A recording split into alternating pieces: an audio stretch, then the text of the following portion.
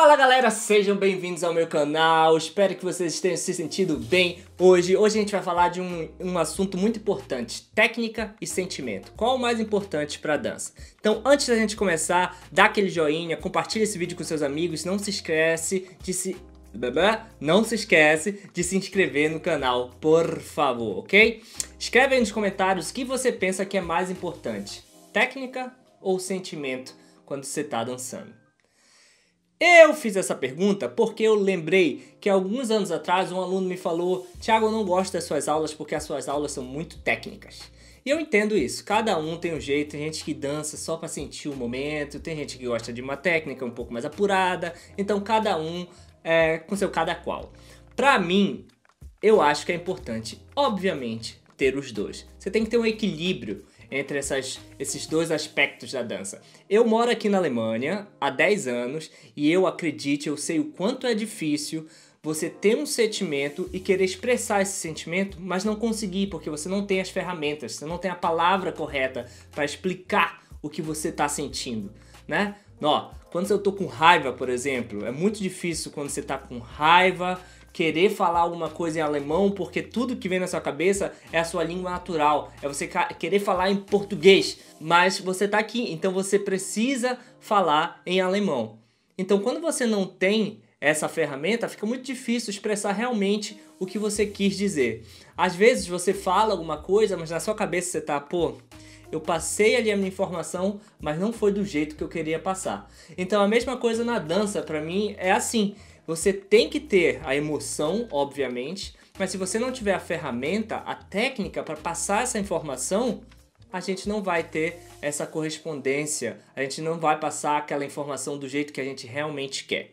Então, para mim, é isso. Você tem que ter o equilíbrio entre técnica e emoção, sentimento, para poder fazer aquela dança ficar sensacional e ser completa, tá bom?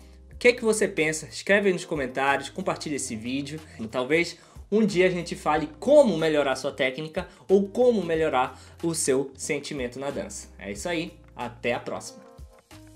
What's up everybody? Welcome to my channel. Today we're gonna have an important topic. We're gonna talk about technique and feeling on the dance. So before we start, remember to smash that like button, share with your friends and comment down below what do you think? What is more, most important, technique or feeling?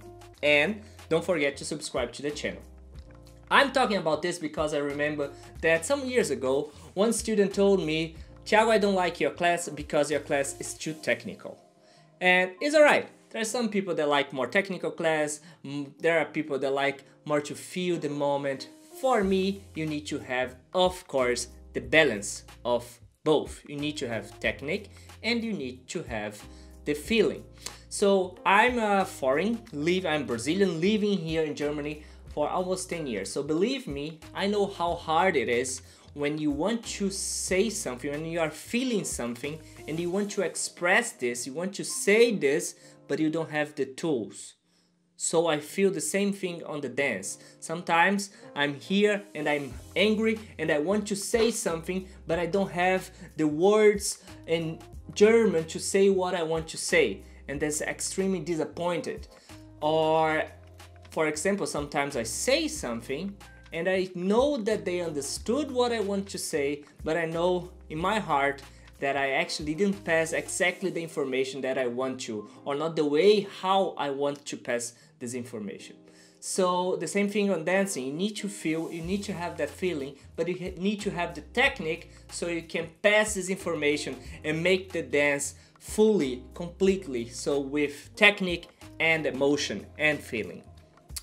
What's your opinion about this?